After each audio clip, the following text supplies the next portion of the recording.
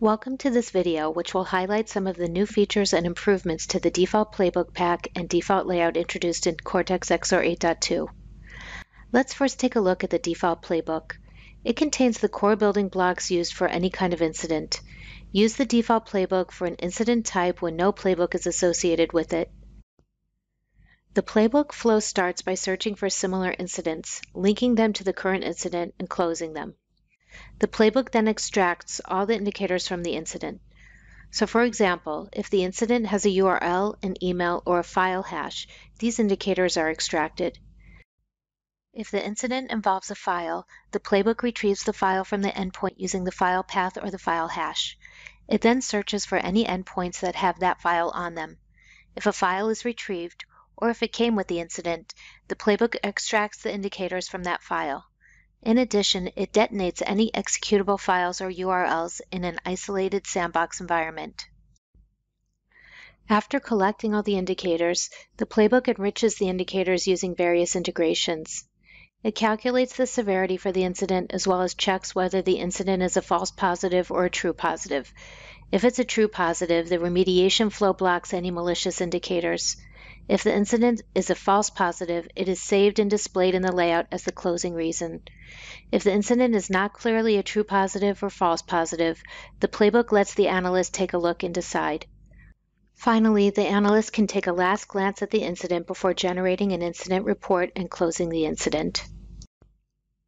Now let's take a look at the default layout.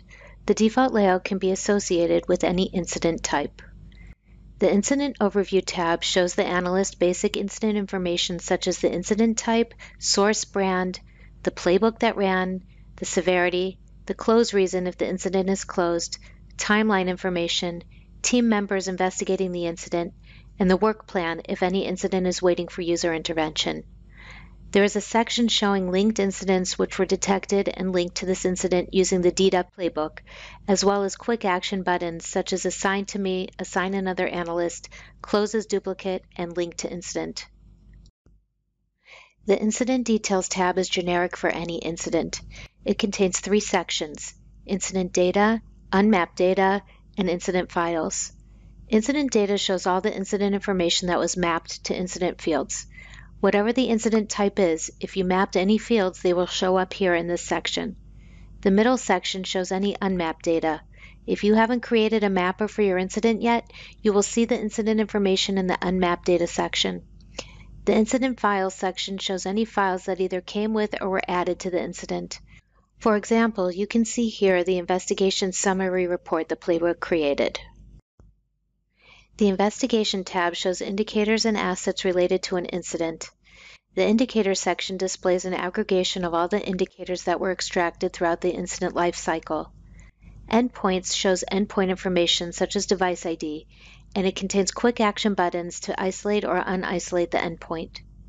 In Actions on specific indicators, you can dynamically access indicators associated with the incident.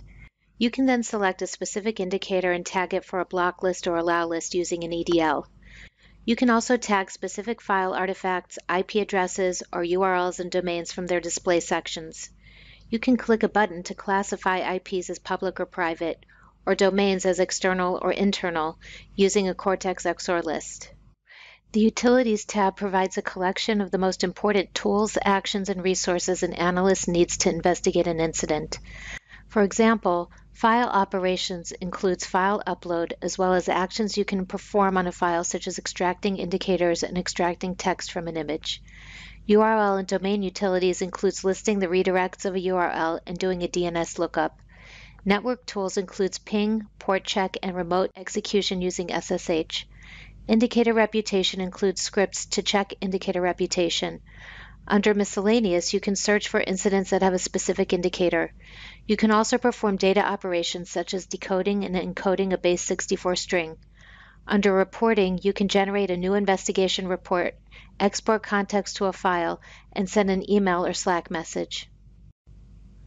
Thanks for watching. Use the Cortex XSOAR default playbook and layout to get up and running now with your incident investigation.